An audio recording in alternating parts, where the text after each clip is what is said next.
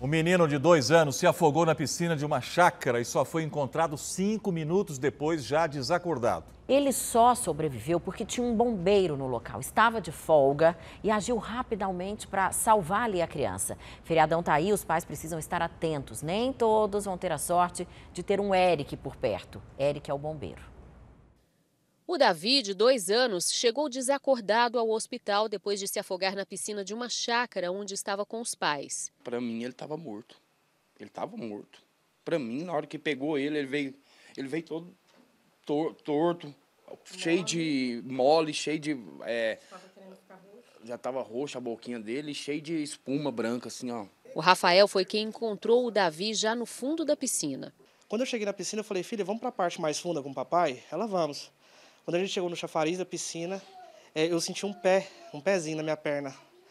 E ali, a hora que eu olhei para baixo, eu vi o, Davi é, em posição fetal e aquilo assim, já entrei em estado de desespero, já levantei ele pelo pé e gritei: gente, socorro, uma criança. O Eric, que é bombeiro, estava de folga e na mesma festa. Ele estar ali foi fundamental. Eu escutei um grito, primeiramente, socorro. Quando eu olhei para o lado, aí eu vi ele segurando de ponta cabeça, né, a criança toda mole. E aí a primeira reação foi correr. Aí eu quem estava na frente eu empurrei, derrubei inclusive o tio da minha esposa, passei por cima das mesas e peguei a criança e já olhei ela. E quando eu peguei, fiz a avaliação dela. E foi quando eu constatei que estava em parada cardiorrespiratória. E aí foi quando eu comecei a fazer os procedimentos, né? Dali eles seguiram para o hospital, tudo muito rápido. Calma, paizinho, calma, calma, calma, que você vai conversando com ele que eu quero ouvir o choro dele. Eu preciso de ouvir o choro dele. Eu preciso de ouvir o choro dele porque senão eu, eu tenho que parar o carro, eu tenho que fazer algum procedimento. Eu preciso de ouvir o choro dele, mas vai, vai conversando com ele. Afogamento é a segunda principal causa de mortes em crianças de até 4 anos de idade. O tempo que nós temos para poder conseguir fazer que essa vida se permaneça é muito pequeno. Um minuto a mais que a criança não fosse identificada, um minuto a mais que ele não tivesse recebido o atendimento, poderia ser fatal, poderia ter trazido grandes sequelas para ele.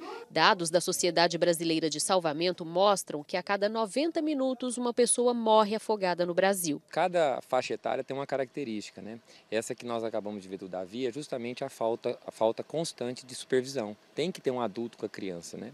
Nessa faixa etária, sempre que nós vamos somos acionados, nós lidamos com esse foi rápido demais, nós não vimos e acaba causando esse tipo de ocorrência. Já o adolescente, ele já tem um perfil do desafio, né? Você consegue atravessar, consegue fazer isso. O ímpeto dele é muito grande e às vezes ele não tem capacidade de atravessar um lago ou ir numa piscina funda e acaba se afogando. E o adulto é o uso da bebida alcoólica e a falta do colete. Um feriadão se aproxima e é bom os pais estarem atentos. Desde do, dos cuidados em relação à, à estrada, cuidados na, durante o trânsito, né, da, da viagem, uso adequado do cinto de segurança, cadeirinha adequada para a idade, respeito aos limites de velocidade, regras de trânsito, cuidado com as ultrapassagens. Em ambientes abertos, em ambientes com água, rio, piscina, lagos, importante que a criança seja monitorizada o tempo todo. Pais, fica alerta, vamos tomar cuidado. Sempre vou estar tá lembrando, então o, o cuidado vai ser o dobro. Eu tô bem. Eu também. Beijo. Beijo.